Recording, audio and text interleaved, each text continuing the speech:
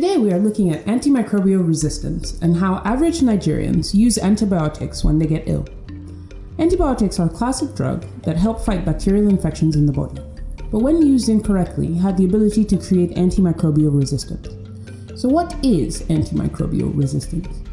Antimicrobial resistance occurs when bacteria, viruses, fungi, and parasites that create diseases in our body change over time and no longer respond to the medicines, making infections harder to treat and increasing the risk of disease spread, severe illness, and death. Today, we are hitting the streets of Abuja to know how people on the streets use their antibiotics.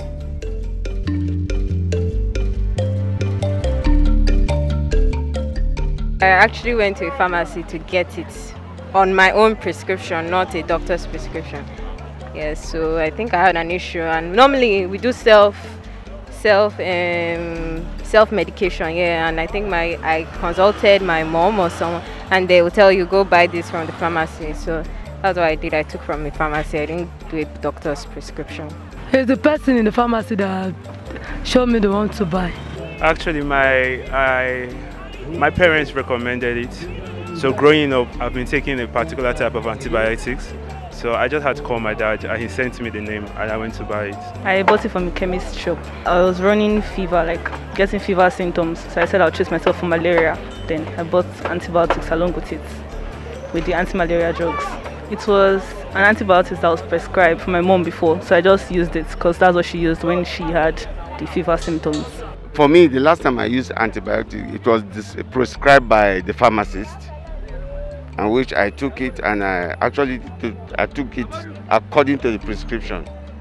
Yeah, and I think except for for ignorance, every prescription is supposed to be taken to the letter as prescribed by the physician or the pharmacist. Sometimes I finish it, other times I leave it half full. If I feel that I'm getting healthy, I say, and there's no need to continue it anymore, so I just leave it. Sometimes it goes, then after a few weeks, to come back again because I didn't finish this. finish. What do you not do in that case now when it does not? Uh... I start the antibiotics again.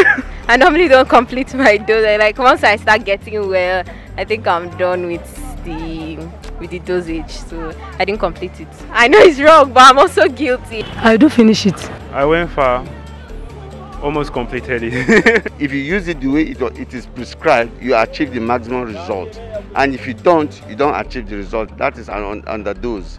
It will eventually not have effect on your system. Completing a dosage is important, even if you feel better after a few days.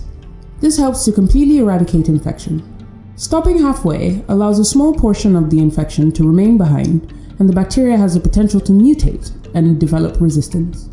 Before drugs and antibiotics are given, patients must undergo medical tests to determine the actual cause of the disease and what medication will be suitable. Antimicrobials should only be prescribed and dispensed by a qualified and certified healthcare professional. Antibiotic judiciousness is the most effective strategy to stop antimicrobial resistance. To do so, follow these steps.